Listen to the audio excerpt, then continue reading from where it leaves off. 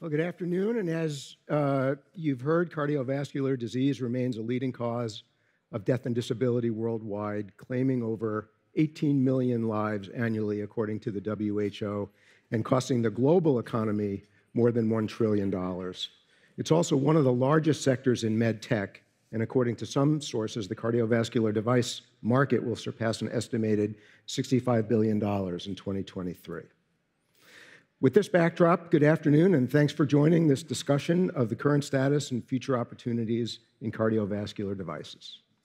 Time permitting, we'll be talking structural heart, ablation, peripheral vascular, hypertension, heart failure, and of course, AI. As you've heard, I'm Rob Kieval, Executive Vice President for Strategic Partnerships at Veranex. I'm a cardiovascular physiologist by training and have spent the last 30 years developing and commercializing cardiovascular medical devices. Veranex is a unique, purpose-built provider of global, end-to-end integrated product development and commercialization services dedicated to the medtech industry. We've got specialized capabilities in cardiovascular products. So if you're working in the cardiovascular space, we're your partner of choice, and we'd welcome an opportunity to prove that to you. So thanks for coming. Now let's meet our panelists. We have Chris Eso from Medtronic, Devon Bream from GE Healthcare, Howard Levin from Deerfield Catalyst, and Mrigasha Patel from HSBC. Chris, would you introduce yourself? Good afternoon, everybody. Uh, Chris Eso. I lead business development and strategy for our cardiovascular portfolio. Uh, been with Medtronic going on 13 years now, all in a business development M&A strategy capacity. Prior to Medtronic, I ran a clinical stage biotech uh, contract biologic manufacturing company uh, and had a lot of M&A and strategy work from the pharma and biotech side of the world. Nice to meet you all. Thanks, Chris. Mrigasha Patel. I've been in uh, med tech, mostly in interventional cardiology, for about 14 years. Um, and then I left industry to go into banking. Don't ask me why, but most people leave banking to go to industry. And I started uh, seeing some pockets of you know, innovation and uh, thought it would be fun to be around companies like such as the ones here today. And so I've been uh, in banking since about 2018 and you know, advised and executed on 25 billion plus dollars worth of transactions. 80% of that has been mostly on the sell side M&A and then 20% call it IPOs and capital advisory type things. So um, looking forward to this discussion with everybody. Thanks. My name is Howard Levin. I'm the CEO, Chief Medical Officer of Deerfield Catalyst. We're an early stage medical device incubator, part of Deerfield Management. Uh, I'm a heart failure cardiologist by training. Uh, prior to um, doing a JV with Deerfield Management, we were Coridea, a early stage, again, medical device company. Uh, we've sold or started and sold a uh, with our companies returning over 1.6 billion to their investors. Uh, and uh, as far as I can tell, uh, Chris still owes us money. Hi, my name is Devon Bream. I'm the president and general manager of GE Healthcare Invasive Cardiology. Um, as many of you know, uh, GE spun off uh, the healthcare division earlier in the year. Um, and it's been a really, really exciting uh, last few months, last, uh, last year, with all the, the renewed focus in healthcare. Um, and my group in particular leads the cardiovascular side um, and electrophysiology. So, really happy to be part of the panel. Also, want to thank Veranex for being great partners. Um, they're just uh, fantastic to work with, and you've helped us on so many things. So, thank you very much. Appreciate that, Devon. So, Thank you all. We've got a great uh, diversity of perspectives for you today, but we thought it might be useful to help get us started for Mrigasha to give us uh, a quick snapshot of the current investment landscape uh, in the cardiovascular space. Um, so one of the things that we're noticing, all the interventional cardiology companies still trade a lot better than the overall medtech sector now. You know, there's this new, um, there's a new um, a category called high growth med tech, which started in the 2018 call it window. Um, and that was really because of a lot of companies going public uh, in that the single product company. So we saw, you know, Shockwave, Inari, uh, Silk Road and some of these newer companies that went public in that window, and that, that created this new category called high growth medtech. Now, this multiple on an LTM revenue basis, as you can see, there's this large peak, right? Um, that was the pandemic, uh, which turned out to be a great time for the equity capital markets. But even though it's resetting now, it's still trading well above large cap med medtech, SMIDs, and uh, the S&P, right? And this is all in the cardiovascular sector. Now, if we take a step back and look at sort of Q1 and Q2 earnings, even, you know, I've got all the strategics here and I'd love to hear from them, but, you know, they posted really good growth in some of the sector. And, and this is largely because the procedures are coming back. I, you know, I, I, I don't care what my research analyst says, but, you know, GLP-1s are not going to disrupt any of these businesses. The patient population's way too complex. And, you know, you have to think about this, that these patients really show up um, at such a difficult time in their kind of journey that they sometimes have no other um, options besides some of the devices that are in these portfolios. So, you know, there's strong growth coming out of the cardiovascular sector. Uh, we're seeing a lot of momentum in TAVR, uh, TMTT, and even EP ablation and AFib.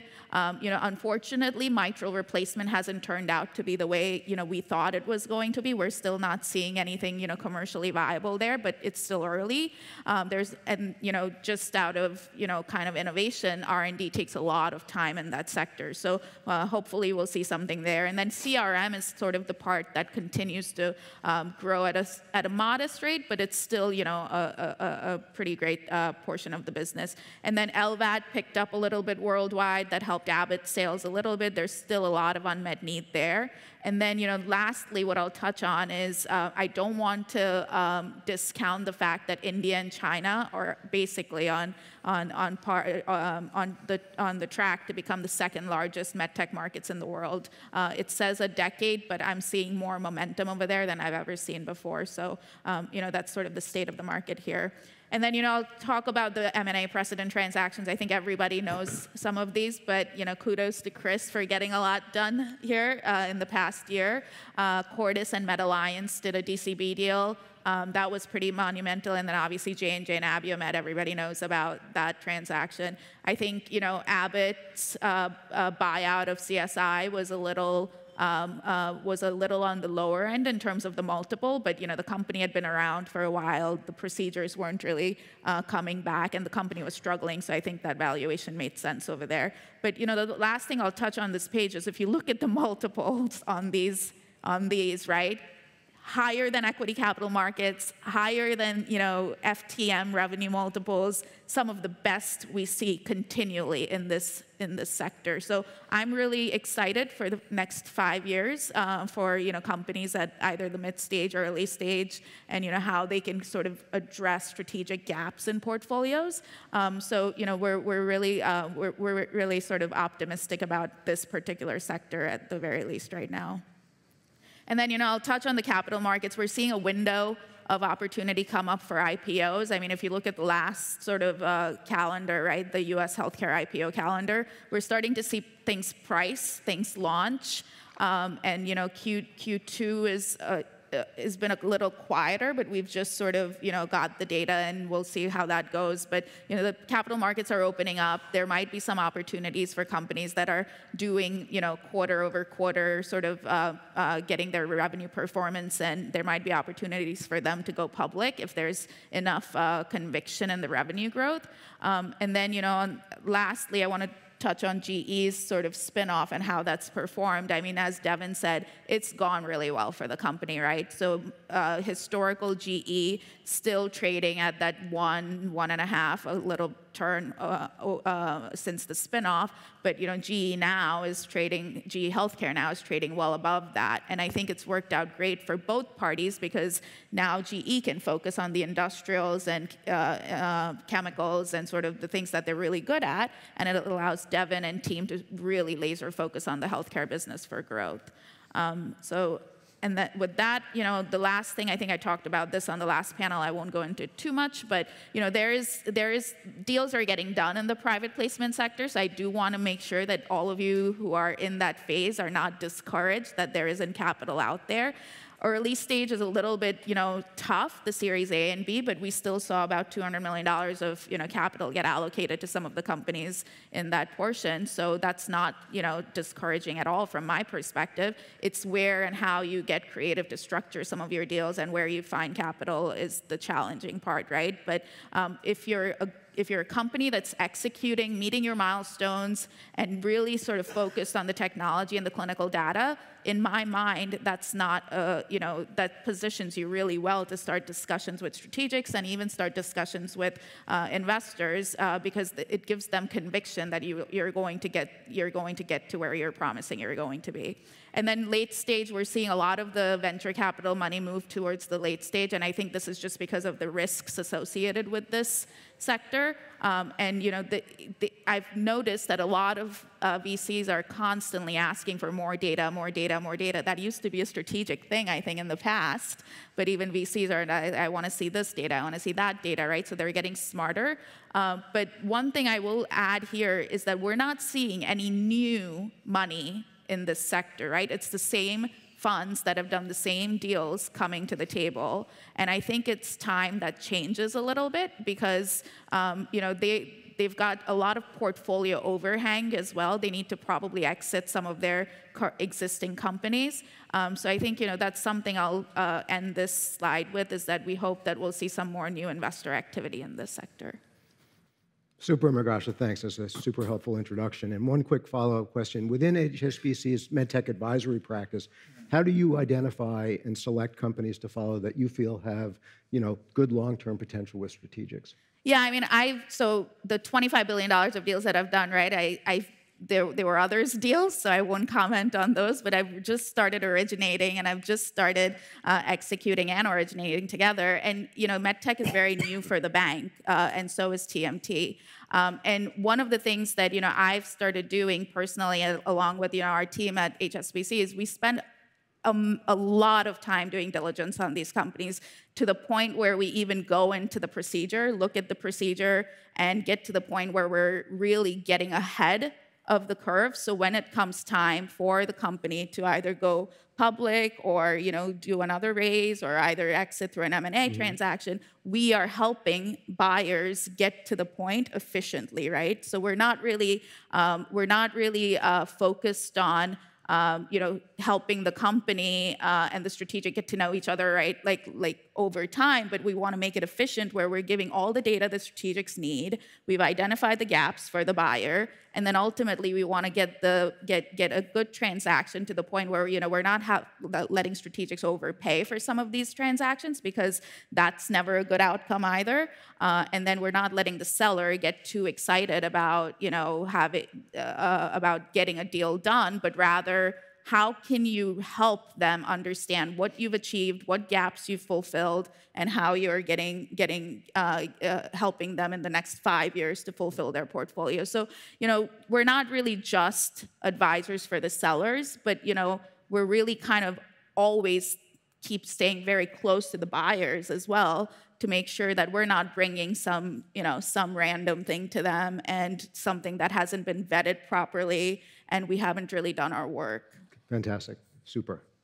Okay, so that's the uh, state of the cardiovascular uh, market. Now let's talk about the state of cardiovascular innovation. So, Howard, it's rumored that in 1899, then Commissioner of Patents Charles Duell said that we'd soon no longer need a patent office because, quote, everything that can be invented has been invented. So it turns out that he never actually said this. But um, in, in all uh, seriousness, to your observation, has there been any slowing in the pace of cardiovascular device innovation in, uh, it, you know, in recent times? And not just talking about incremental next generation products, but truly novel, disruptive products. Is there anything out there that you're particularly excited about? So I, I think that what we've been seeing recently in the cardiovascular field has been essentially more evolutionary than revolutionary.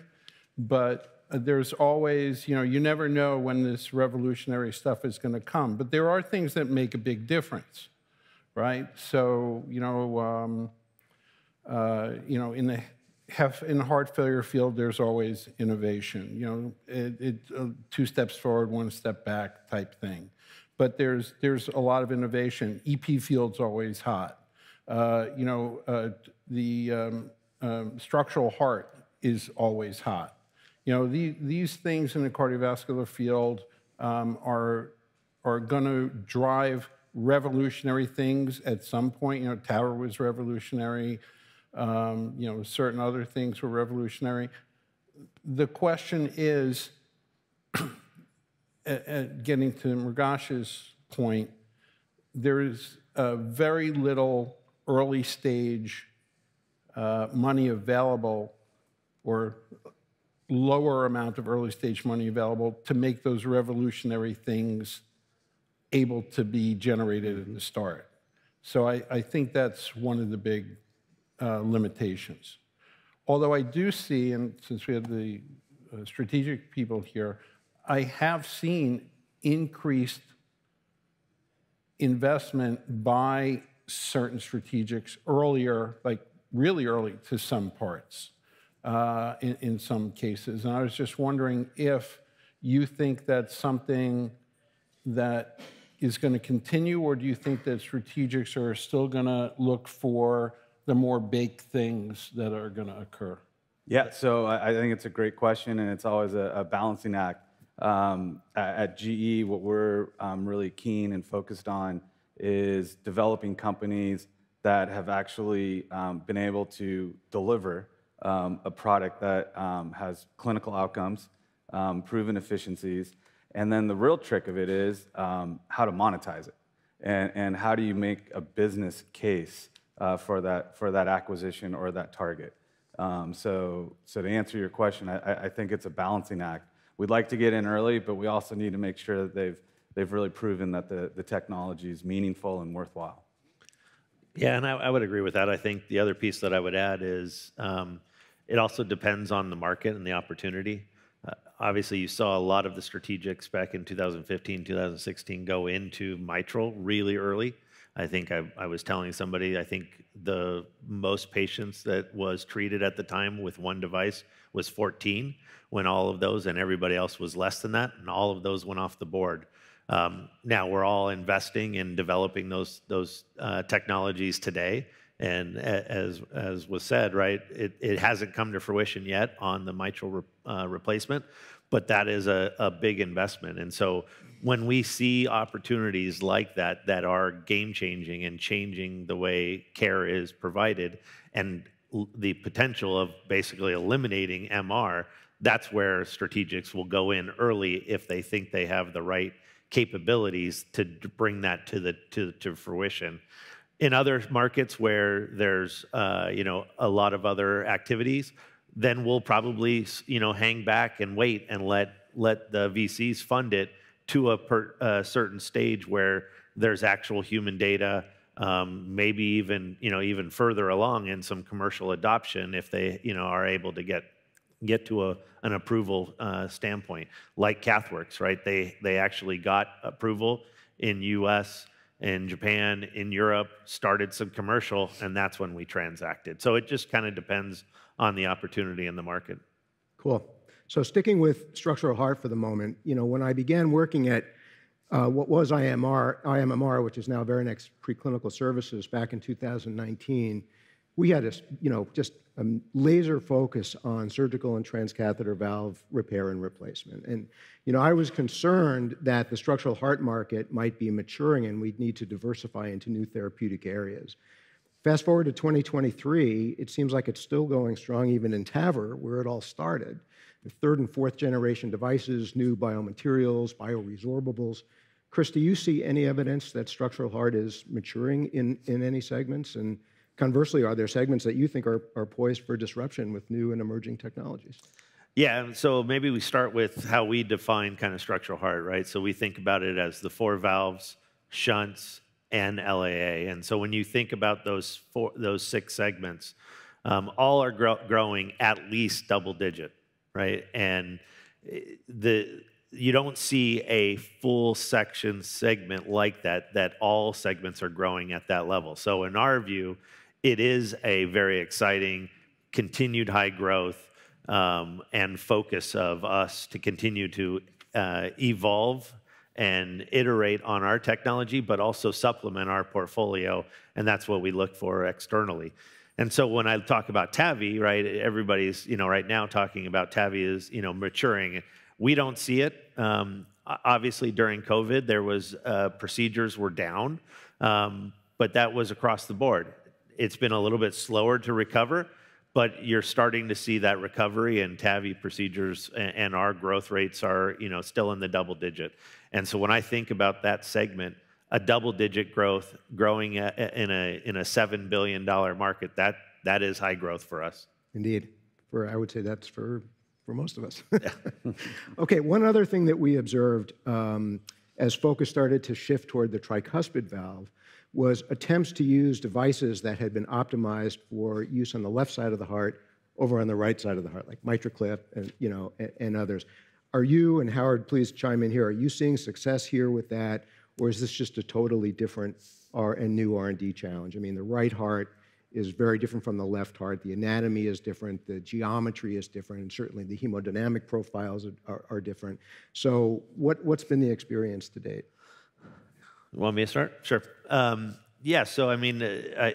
I was just meeting with a company, and they're, um, you know, been focused on a mitral company, and I said, you actually should contemplate starting on the tricuspid side to me, I look at the technology and I think it can be interchangeable. Now, that isn't like taking it and just moving it and putting it in there.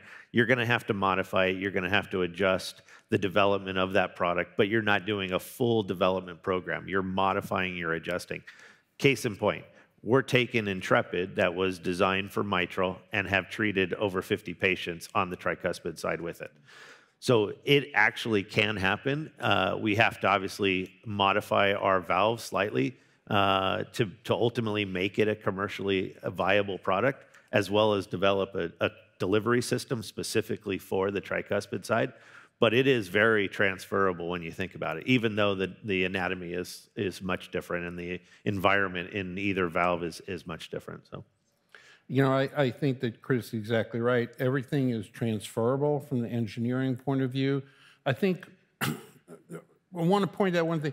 You don't have to have a revolutionary project to be a huge market. Mm -hmm. And tricuspid here, I think, is going to be like the, the poster child for that in a sense, where you have, um, we know in heart failure that, and we've known since the 80s in heart failure that um, your RVEF and your TR is more related to new mortality than your left-sided parameters. And, but nobody ever fixed the right side of the heart because they, nobody wanted to do a surgical procedure for just, quote unquote, just fixing the, uh, the tricuspid. I personally think there's going to be a huge uptake on, on the right side with the tricuspid, even strangely more than the mitral. I mean, getting into MR is very important, but if we can work on that tricuspid, and I think that's just the beginning of working on the right side. Pulmonary valve was there already, but there's going to be that, even though it's not revolutionary, it's an evolutionary thing, it's going to be a really big deal. So if, if a banker is allowed to add to this, but uh, you're absolutely right. Like what we're seeing, right? We're seeing companies that started in the mitral space and then they've realized access is so much easier on the right side. And so they've pivoted their strategy. And now that's why you're seeing this growth in tricuspid regurgitation uh, solutions. But, you know, I do want to, I do have a question for Howard. I think, you know, imaging is still such a challenge in this space, right? What are sort of, what are some things you guys are seeing inside the cath lab when it comes to, you know, imaging for, for within the sector? Because we see companies, you know, come out with really elegant solutions, really great things, but then you know physicians are struggling because they can't they can't image properly and you need this team of like what eight or nine people now right to right. just do that so i'm curious to hear your thoughts on that howard. I, I, uh, I think that's a really big issue. You're absolutely correct and we should all blame ge healthcare for not developing the technology. But it, separate from ge the, the real issue is is there are technologies that are theoretically available. There were things on the left side with cameras for AFib ablation, being able to look, and there are some forward-looking ultrasound that now catheters you can see. Um, I, I, there are really two issues, right? One is there was never a drive to develop them for this particular indication. Everybody was using TEE, they were used to it, reimbursements in place, it all made it simple. The, but what I think needs to happen is a change in the interventional cardiologist approach to things. They have to want to, you know, yes, OCT and yes, IVUS are used, but it's not like, you know, you need to get a, I don't want to say next generation, but you need to get interventional cardiologists to take advantage of, or, or there need to be things to be able to show that you sat the valve in the right place, or there's a leak, or there's a this or that, uh, to make that um, procedure easier within like not having those extra five people in the room that you need. Uh, so it makes it more cost effective, it makes a better procedure. But you have to dev- then, uh, so it's the chicken and the egg. You have to have the devices to, for people to be able to use, but you have to have the people to be able to use them to be able to use the devices. So, I don't know. De- Devon, since Yeah, so the imaging side's uh, fascinating, um, and I was very fortunate um, yesterday to go in and see our very first um, uh, installation in the entire world. Happened to be at the clinic in Barcelona. Um, so thank you LSI for having the conference here. that, was, that was great timing. Uh, but uh, it was our first installation for our new 3D stent technology, which is the first on the market um, to allow uh, 3D visualization um, once a stent's placed. And it's a great example of what you're saying um, because it's not just basic imaging. Um, what we're really focused on now is taking imaging and then laying, layering over additional technologies that make the imaging that much more enhanced with the ultimate goal of allowing better procedural access, but also reducing the number of people that are required to do the imaging. Um, so, very good observation by you, and, and, and that's what our focus is. Um, so, we used to do one new product introduction a year. Um, we're almost 10 times that from where we were two years ago, and it's all on these image enhancement type opportunities. Devon, do you think that like there was this um, spike in, uh, in activity for like MRI guided EP or spike of CT, you know, whatever? Do you think that you know, with all that money spent on cath lab infrastructure based on fluoroscopy and other things, is there ever going to be a move towards more, you know, things that could give you more information but are not, you know, part of the installed base right now? Is it just too expensive? Yeah, and I think we're going to be talking about some of that uh, later in the discussion, but in particular, um, AI. AI is just playing a huge role in what, what we do, our future roadmap, and, and there's some really exciting uh, new uh, startup companies and innovations um, that our friends at Veranex are actually helping us with um, that, that are going to really enhance that imaging and, and really allow physicians to see and do things that they could never have done before. So sticking with the GE um, uh, topic for, for a second, GE Healthcare, I'm just watching the time, this is just flying by. But, you know, when we talked about your new role uh, and focus on invasive cardiology, you know, you looked immediately toward uh, EP ablation and specifically PFA. Uh, I know there's been some recent uh, clinical trial results that have been announced and published from Boston Scientific's Advent trial. So can you just catch us up on, uh, on what you're excited about there? Yeah, absolutely. Uh, PFA is a game changer. Um, uh, it's been well received and adopted here in Europe, and all the major device partners expect, you know, sometime mid to late next year um, for all of their FDA approvals. Um, but what's fascinating about AFib and why PFA is so important, Rob, is, is in the US alone, there's about two and a half uh, million patients, and only 15% of those are being treated.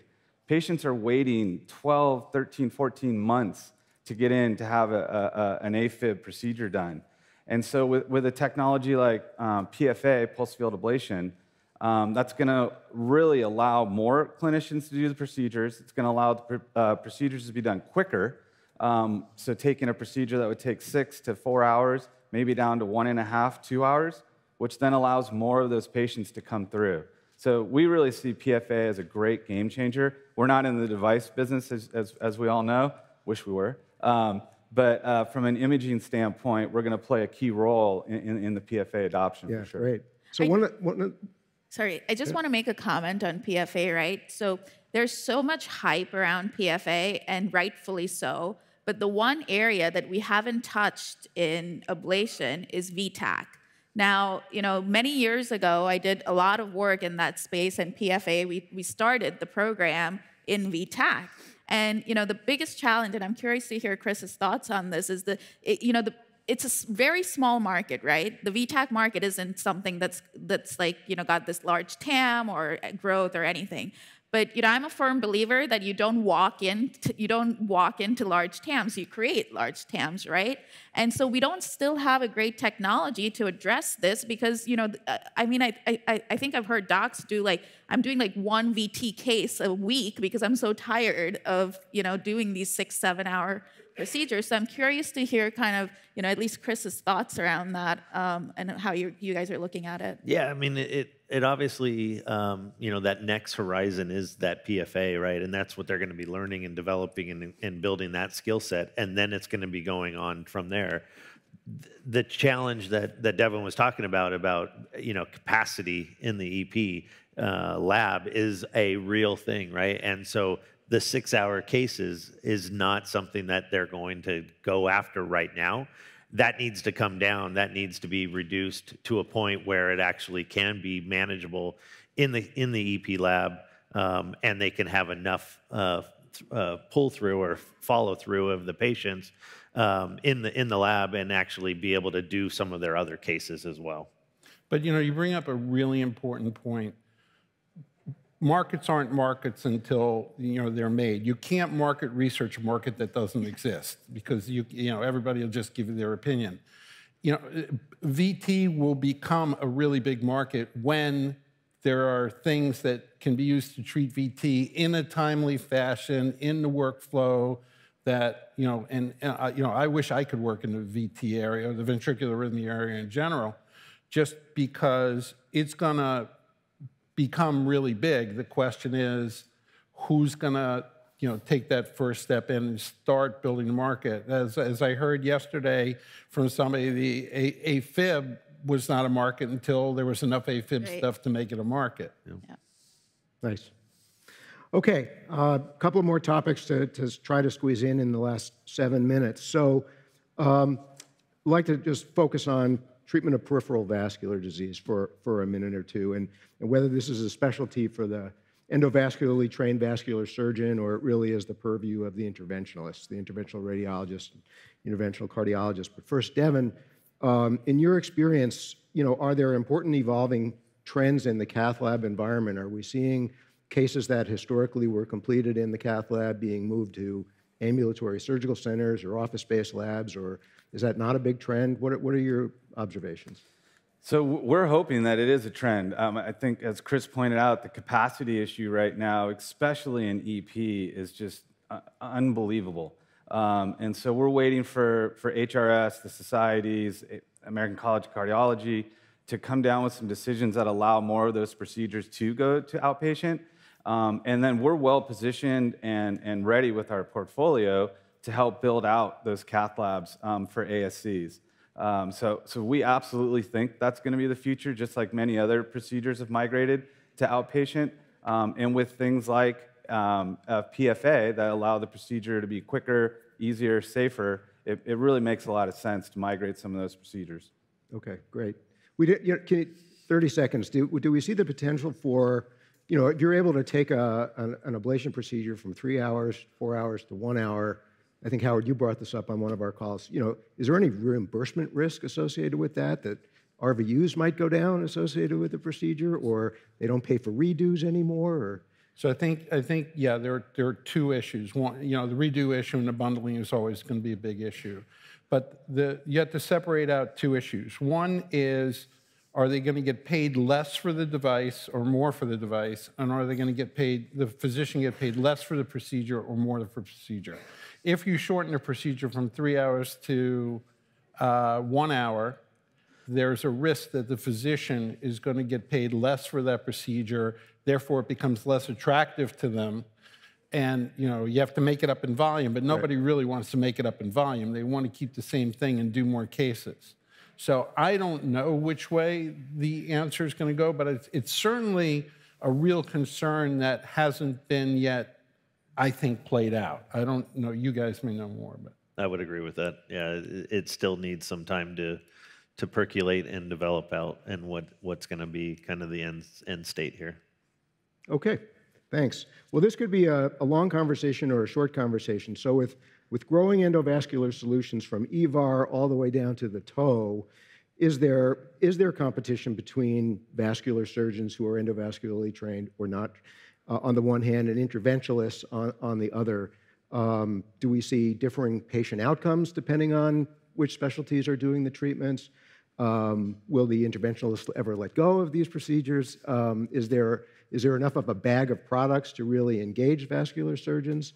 Um, Chris, what are, your, what are your observations? Yeah, I mean, so it's an interesting question, right? Because when you think about the the physician specialty subsets, um, the vascular surgeon and the cardiac surgeon are still very critically important in in the overall procedures. The vast amount of interventional cardiologists and, and IRs is a hard challenge to overcome, right? And so as things become easier, as capacity becomes an issue and you need to get things more simplified and easier, they are moving more to the interventional cardiologist side of the equation. But there's still those, those cases that are so uh, complex that you do need that, that surgeon expertise, in my opinion.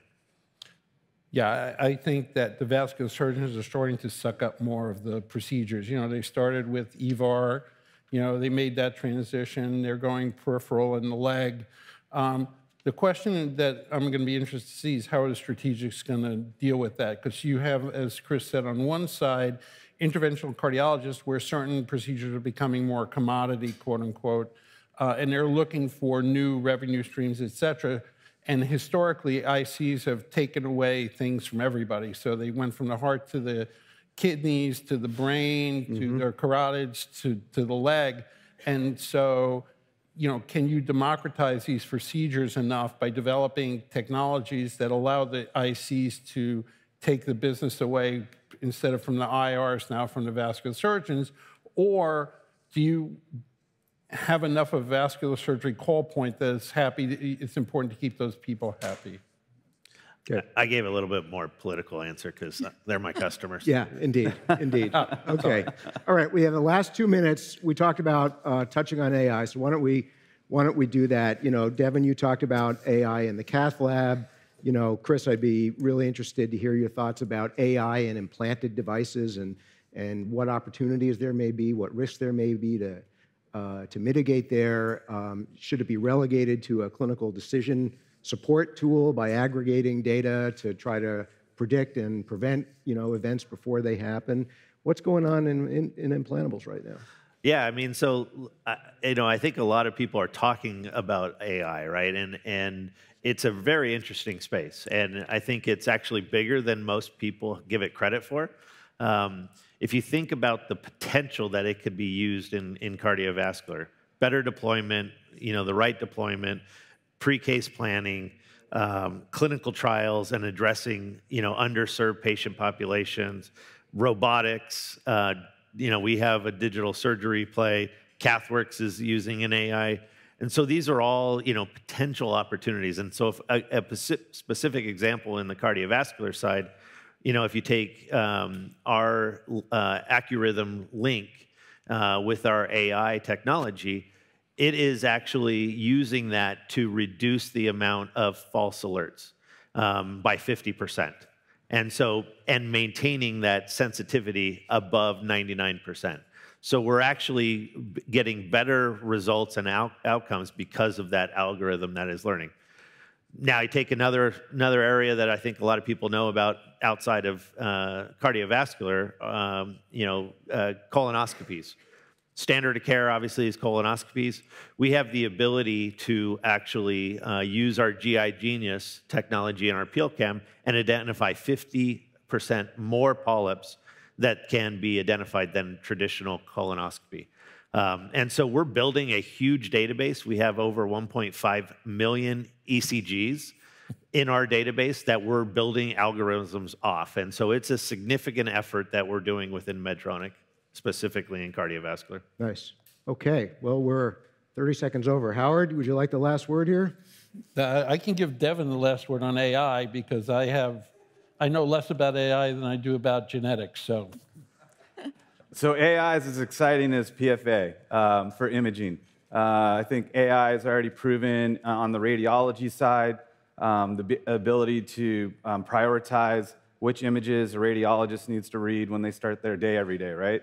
So it's proven itself out really well. We're super excited about what it can do and will do in, in uh, the cardiovascular space. The, the challenge is how to monetize it. Um, and again, our friends at, at Veranex have been great partners in, in trying to help us model it so that it doesn't become a, a, a just a giveaway. I know I keep pitching. It's like three or four Sorry. plugs. That's great. It's shameless. Keep Uh, going, but they are great. Uh, but the, the, the business model of AI is really a challenge, I think, for our whole industry. Um, so that it doesn't just become a, a giveaway or a nice to have. Um, I always equate it to my kids, right? You, when they started driving, of course I wanted to have um, all the safety features in the car and backup cameras. Um, and now those are all just standard products that, that, that are on, on cars. And so is that what AI is going to be for imaging?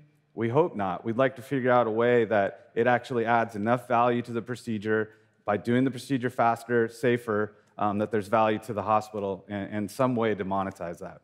Great. Okay, I think we'll end it there. Thank you, everybody, for coming, and please join me in thanking our panelists for an engaging conversation.